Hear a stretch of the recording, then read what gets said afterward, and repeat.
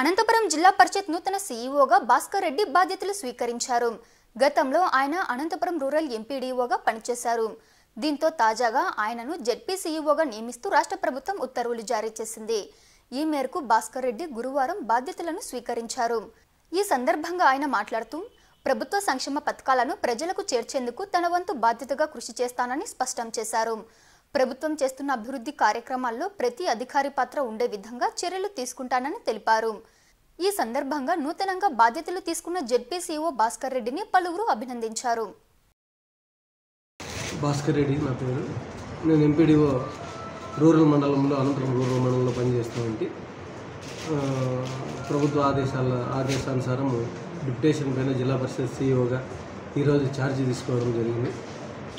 జ- జిల్లా పరిషత్ సీఈఓగా రాష్ట్ర ప్రభుత్వం రెండు సంవత్సరాల నుంచి దాదాపు ఇరవై సంక్షేమ పథకాలని ప్రజలకు అందుబాటులోకి తీసుకొని రావడం జరిగింది. అభివృద్ధి కార్యక్రమాలను కూడా అనేక కార్యక్రమాలని గ్రామ సచివాలయాలని ఆర్బీకేలని ఇవన్నీ మనం రోజు చూస్తున్నాం మనం.